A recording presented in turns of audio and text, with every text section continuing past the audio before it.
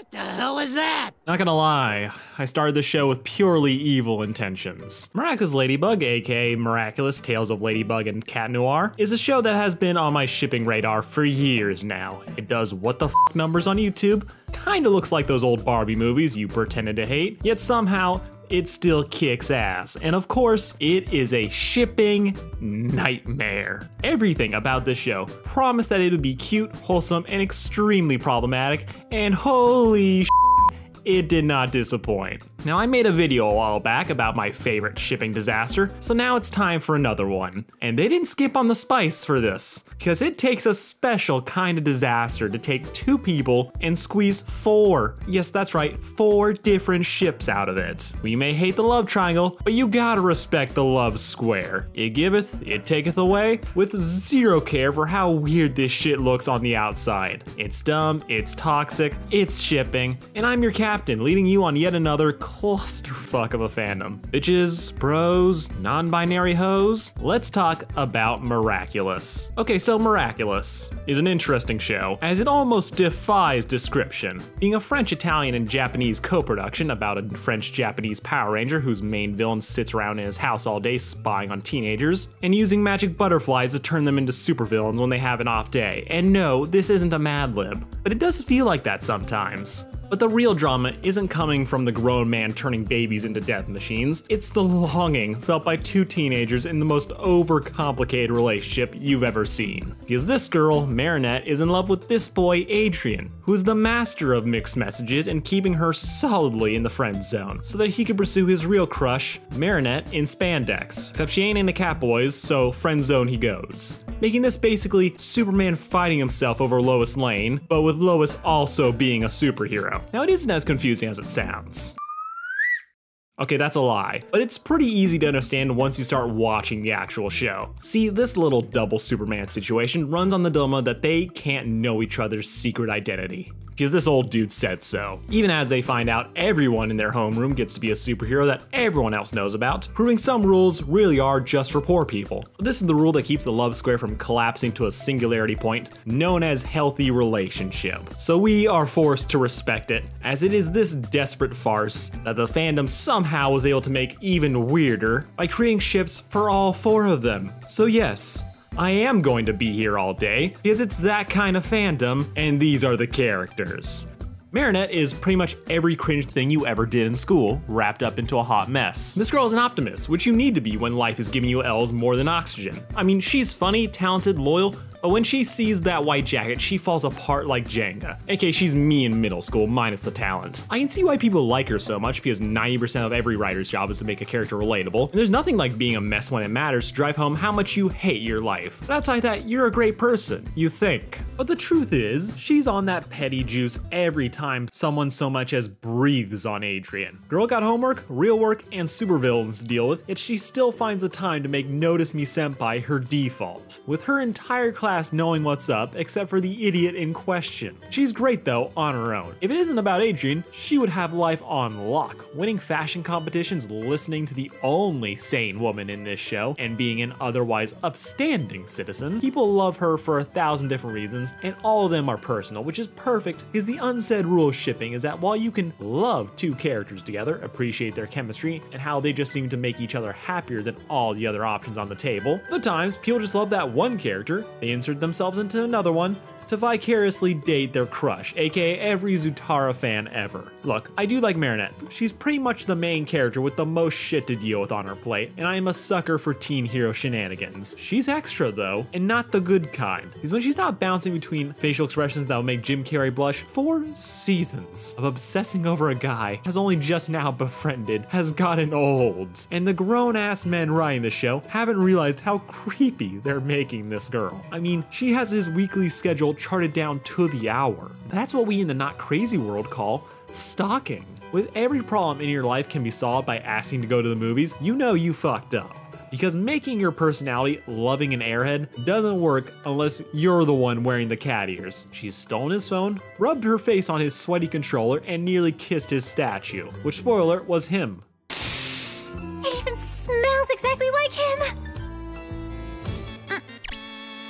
haven't we been molded together in the plaster of destiny, marble to marble? God, that moment nearly killed me and it made me want to strangle his dumbass for letting it happen. She's a fangirl, and it's all fun and games till she shows up in his room with a handgun. But th- again, this is the area where I blame the writers. Someone needs to talk this girl down because she's pretty much yandere with a test tube sometimes. But then she's on the level the rest of that 85. And my neck just can't take that whiplash, especially when she transforms into her alter ego, Ladybug. Which, okay, they're just the same person. Yeah, Adrien Cat Noir are different enough I can see where the fan divergence happened, but Marinette's only difference is that she's in tights and has her game face on, which for fans basically translates to Marinette but Kim Possible, super serious hero woman. People like to pretend this anxiety-free Marinette is not a hot mess, but the truth is, there's not that much of a difference. Sure, fandom loves to make Ladybug this fun but no nonsense hero did it, but then proceeds to ignore her when she turns around and does some really stupid shit like giving her crush special treatment or talking shit public out of spite. I get the appeal of having that tough, confident side where everyone can see, but the other side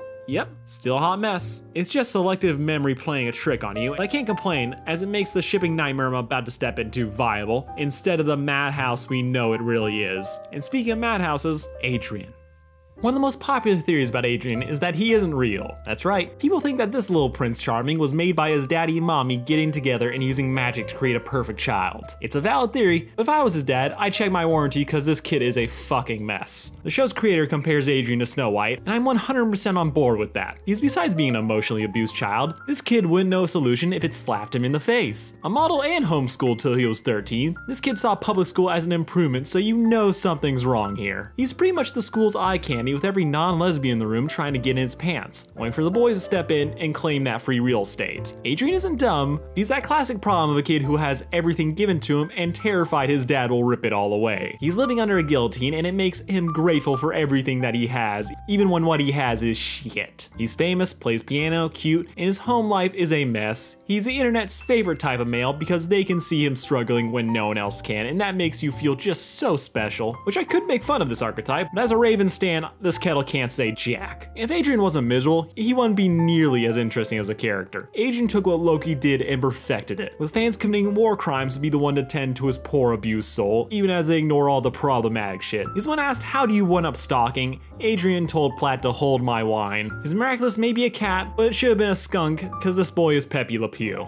Cat Noir or Chat Noir, I constantly switch between the two, and I've just kind of given up. This superhero identity takes Adrien and makes him Peter Pan, but with somehow more consent issues. Cat Noir is everything Adrien wishes he was fun, playful, and not at home. Cat is the screaming theater kid dying to burst out of Adrien's soul and landed right on his face. But while he may always be joking around, he doesn't treat the job as a joke. He'll get it done, but at like 11:59 p.m., so just barely. Fans love pretty boys with problems, but they love flirts that are sobbing inside even more. It pretty much takes the I can fix him trope and adds someone who is actually fun to be around, with a caveat that he'll cry on your shoulder, showing how vulnerable he really is. And yes, I ship this character type too, Blitz. At least Blitz is stuck in hell, so no one deserves respect. Cat doesn't because he can. Marinette may know when Adrien stops to take a leak, but Cat's waiting outside the door, joking about how funny it'd be if he just walked in. Because this kid loves Ladybug and has absolutely no idea how to do it besides not being himself.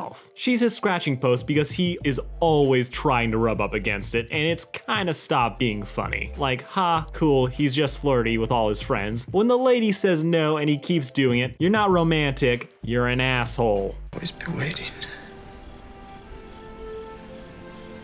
Cat would hear that and think it's the most romantic thing he's ever heard. Meanwhile, I'm already calling the cops. This boy doesn't know how to act, but he's fun so everyone on the outside will overlook it, even when he's doing insane stuff like dying 26,000 times before admitting that this scheme to get close to Ladybug isn't working. If that isn't restraining order material, I don't know what is. But again, fun and tragic, so people will find an excuse for everything and call it romantic.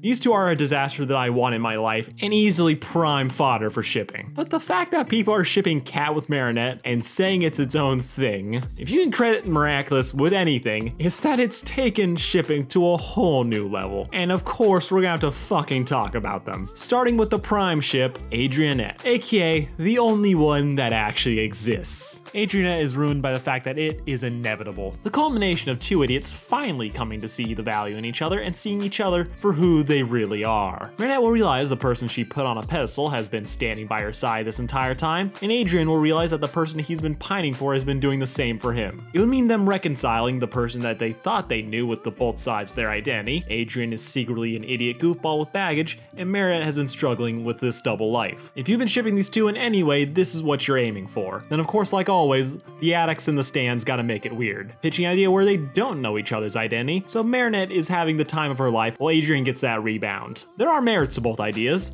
There's not, but let's pretend for a moment that there is. Without revealing the superhero, we pretty much give Marinette the boyfriend she always wanted and the cute school romance everyone can relate to. Because with all the theatrics of the show, this is what the show's really been about. Two kids with a lot going on, finding love and support with each other, with all the weird stuff being solved by them finally hooking up, allowing this ship to exist in peace and harmony.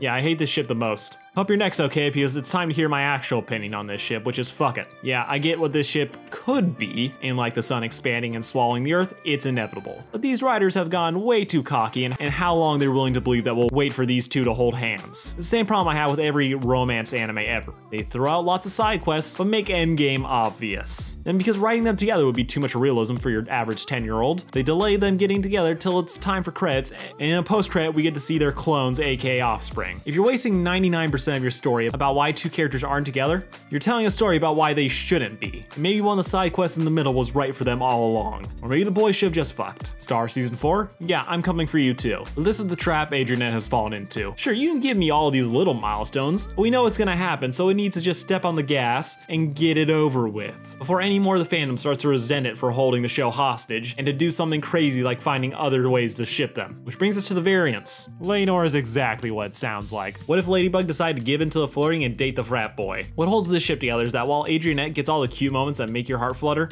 these two have an actual relationship. They're dealing with their bullshit, the near death experiences, the villains, but through all of it, always have each other's back. They may not know who they really are, but they're ride or die. And while Ladybug can struggle with what to do, Cat is always there to help her out, which is something that we can all aspire to, though I would love if he would just social distance. What also makes this a peak ship is how it's the only one of the four where we are conceivably see Ladybug whooping Cat's ass. He's a manho and an idiot who needs to get his shit checked by a strong female. Marinette is cool, but nice is her default, and this dumb blonde needs a little more than a talking to. And she'd just be too happy to be dating him to be bringing that energy. What also makes this an above average ship is that after who knows how many fucking seasons of will they won't they bullshit, seeing Ladybug drop the obsession for a boy she barely knows to date the person who's always been there for her would be more satisfying than the Adrianette glacier hanging in the distance. You'd also enjoy the inevitable reveal of their identities after a long, oh, I still have feelings for blank, leading them to laugh it off as they realize it was never a problem in the first place. Now this ship isn't without its problems either, mainly it's been cat creeping for most of the show. Even Ladybug flirting back sometimes doesn't make the fact that he does it even when she says no. It also hangs very much in the personal fantasy that both of them have created for their superhero lives, leaving their personal issues unaddressed like Adrien's dad being a supervillain and his mom being a popsicle in the basement, or Marinette struggling with her promotion to regional manager. Ladynoir is great in concept but ignores the underlying personal issues that they both need to deal with and lets them indulge in a personal fantasy. Speaking of which, Ladrien, or Adribug, but Ladrien we're calling it. The ship where everyone gets exactly what they want without having to put in any work. Like I get this is a ship because with the BS mask rule, it pretty much solves all their problems, with Adrien getting Ladybug and her getting Adrien without either of them needing to do anything but show up. Ladybug should be thankful she got to keep the mask on because she'll be blushing through every second of this, while Snow White over here can keep up his shy boy routine. This is for all the people who prefer Adrien to Cat but don't like Marinette. It's pretty much Adrianette with a new coat of paint and without any of the mess of them realizing that they've been lying to each other for years. Now I know it sounds like I'm disrespecting this ship a little bit because I am. Outside of a couple moments, this ship doesn't exist. It's fan fiction. It's the second Adrien gets his chance, he's dropping the fact that he's Cat, because impulse control isn't his middle name. Yes, I did watch Cat Blanc. It was a waste of time. For all of you who love a tragic soft boy, I guess I can see where you're coming from. But to me, this feels like Marinette slander. Feel free to lecture me on the merits of this one in the comments, and I'll do my best not to call you basic. This one's just hilarious. If Ladrien is one where everyone is happy, this is the one where everyone's miserable. With Marinette kicking Cat under the table while he makes another fist joke to the waiter. No one is getting what they wanted here, and that makes it all the better. Because the appeal here is, is that Marinette struggles to speak to Adrien. Ladynoir is all about her keeping Cat in line, while this one's her cleaning up his act. the two of them growing to appreciate the sides of themselves they're not fully in love with. Makes it a learning experience for both of them to see past their preconceived notions of who a person is. This is the one ship where you really have to go out of your way to make excuses for it to happen. It's so out left field, of course the show had to go bring it up, with both parties agreeing that this is a terrible idea, but go through with it anyway, because reasons. This is easily the best couple with the most issues, and that's what makes it interesting, because no one wants to be here, but we want to see them make it work. It's pretty much the start of every romantic couple in movies, and while you may be sick of that trope, it works for a reason. If slightly dysfunctional couples are your thing, this is the ship for you, and I salute my fellow degenerates. Because while this is gonna make Marinette go gray early, the silver bug pun by Cat will be worth it. And in a world where I'm stuck waiting for this shit to end, imagining them not getting what they want is the least I can do, because just peeking in on season 4, best boy Luka got screwed, and Kagami was always too good for Adrien anyway. But yeah, remember when I said this was a love square? I lied. It's a love dodecahedron, and everyone is miserable, not even counting the weird shit they're doing with Chloe. And I might have to make a second video just for all this. I guess in the end, this show is pretty much everything I want in a fandom. It's a dumpster fire with fun fan art and people losing their minds for no goddamn reason. In a confusing French import that most of you only watch through GIFs on Tumblr. It's confusing, it's childish, it's shipping, and you might want to just check it out. Because if you love confusing train wrecks that aren't trashy, these are the ships for you. We all know how it's gonna end, because at this point the writers are just pushing to see how much they can screw with the audience before they all snap and kill them, which is a level of sadism that I can respect.